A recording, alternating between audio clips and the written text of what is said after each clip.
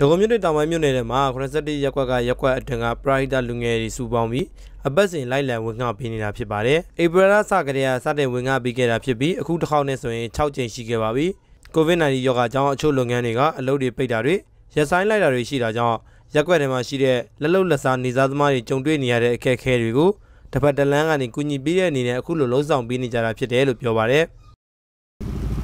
ဒီ COVID-19 စဖြစ်တဲ့အချိန်အားစပြီးတော့ ပြောရမယ်ဆိုလို့ရှိရင်တော့ဟိုနိုင်ငံတော်ကချက်မှတ်တဲ့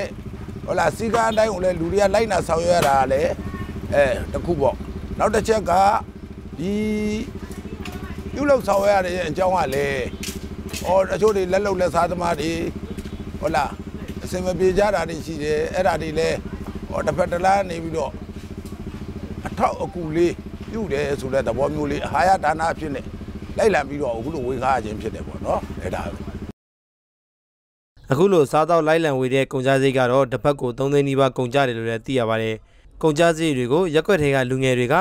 ဝိုင်းဝန်းစုဆောင်ထားပြီးလူဒန်းခဲ့ကြတာဖြစ်ပါတယ်။ရသလောက်ငွေလေးနဲ့လောက်ကန်ရတာဖြစ်တဲ့အတွက်တရုတ်ကလုံကိုအိမ်စစ်အောင်လှူနိုင်ဖို့တော့အခက်အခဲရှိနေတယ်လို့ပြောပါတယ်။음ပထမတော့ကျွန်တော်တို့ကဒီတကြံမတိုင်ခင်ရပါတော့ကျွန်တော်ပတ်စံလေးစုထားကြတယ်။ကျွန်တော်တကြံကြံစတုရီတာကျွေးမယ်ဆိုပြီးရည်ရချက်နဲ့စုထားကြတယ်။ဒါပေမဲ့တကြံကဒီနေ့တကြံမလုပ်ဖြစ်တဲ့အတွက်ကျွန်တော်တို့က အဲ့မှာတကြမ်းမှာလှူမဲ့ပတ်စံတွေကိုကျွန်တော်တို့ကဓမ္မဝင်မှာချက်ပြုတ်ပြီးတော့အပိုင်တွေကိုလိုက်ပြီးတော့လှူဒန်းပါတယ်ကျွန်တော်တို့အခုလူငယ်တွေစုတယ်ပေါ့နော်ကျွန်တော်တို့တရက်ကို900နှုန်းနဲ့ကျွန်တော်တို့စုတယ်တရက်ကို900နှုန်းနဲ့စုတယ်ဟောနဲပါဒီနားမှာကျွန်တော်ပြေလည်တဲ့လူတွေစီကလည်းကျွန်တော်တို့အလှူခံလိုက်တယ်ခံပြီးတော့ကျွန်တော်တို့ဒါလှူရတာဖြစ်တာအစအဦးဆုံးကျွန်တော်တို့စက်သားဆန်ပြုတ်ပေါ့စက်သားဆန်ပြုတ်ကျွန်တော်တို့လှူတယ်လိုက်ဝေတယ် အဲရောနောက်ပတ်တွေကျတော့ကျွန်တော်တို့ပဲကလာဟင်းပေါ့ရောပဲကလာဟင်းနဲ့ငါ6ကြော်လေးတွေကျွန်တော်တို့လိုက်ဝေတယ်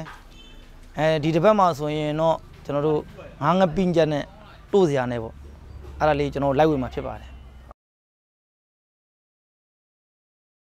ဒဂုံမြို့နယ်တောင်ပိုင်းမြို့နယ်တွေက87ရပ်ကွက်မှာတော့အပိုင်တွေခွဲခြားထားပြီးအခုလူဒန်းမှုကတော့အပိုင်တစ်တစ်ပိုင်းတည်းကိုသာလောလောငန်းကဝေငှနိုင်တာဖြစ်ပါတယ်။အခုလိုလူဒန်းမှုကိုတော့လူငယ်တွေအနေနဲ့ဝိုင်းဝန်းပြီး ငွေကြေးစုနေနိုင်တဲ့အထိလူဒန်းသွားမှာဖြစ်တယ်လို့သိရပါတယ်။ကျွန်တော်တက်စင်ထုံးပါ။